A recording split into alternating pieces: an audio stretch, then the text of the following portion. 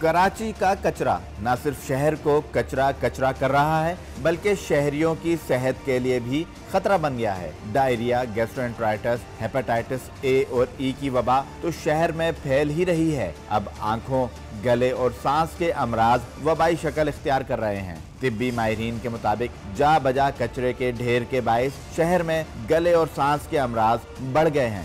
ہمارے پاس او P D میں بھی تقریباً تیس سے چالیس فیصد مریض ایسے ہیں، بڑھ گئے ہیں، جن کو کہ مستقل گلا خراب یا نزلہ یا اس طرح کی چیزیں جو ہیں وہ ہیں۔ اب اس میں ہر طرح کے انفیکشنز ہیں وائرل بھی ہیں بیکٹیریل بھی ہیں اور دیگر الرجی کے بھی ہیں لیکن ظاہر ہے کہ اس کی وجہ سے ان مریضوں کی تعداد میں اضافہ ہو گیا۔ ڈاکٹر عاطف حفیظ کہتے ہیں گندگی کے خاتمے اور ماحول کو صاف ستھرا بنا کر ہی ان امراض سے بچا جا سکتا ہے۔ گھر میں اسپیشلی جب کسی کوئی بیمار ہو تو اس میں احتیاط کریں اس کی چیزیں استعمال کرنے میں خصوصاً بچوں کا انٹریکشن آپس میں کم ہو۔ اگر اس طرح کوئی انفیکشن ہو جائے تو ان کو ایک دو دن آپ زبردستی اسکول نہ بھیجیں اور ان کو جو ہے وہ دوسرے بچوں سے علیحدہ رکھیں کیونکہ اکثر انفیکشن ایک دوسرے سے لگنے والے بھی ہوتے ہیں۔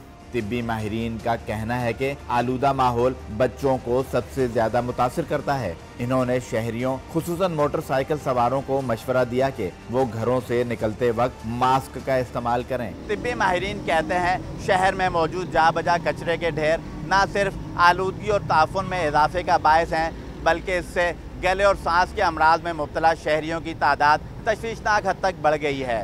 ضرورت اس بات کی ہے کہ شہریوں کو صاف ستھرا ماحول فراہم کیا جائے تاکہ صحت کے مسائل میں کمی لائی جا سکے۔ کیمرہ مین اشفاق سہوترا کے ساتھ حامد الرحمان دنیا نیوز کراچی۔